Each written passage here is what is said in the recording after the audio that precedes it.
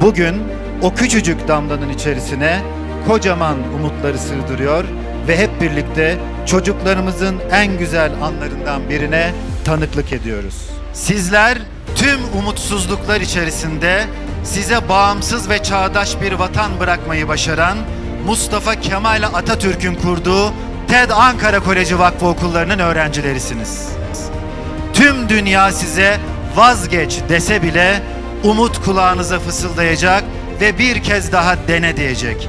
Umudun sesine kulak vermekten asla vazgeçmeyin.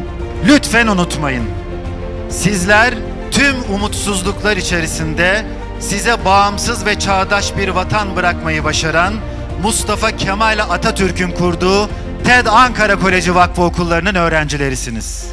Yolunuz aydınlık, zihniniz açık, vicdanınız hür olsun. Sevgi ve saygılarımla.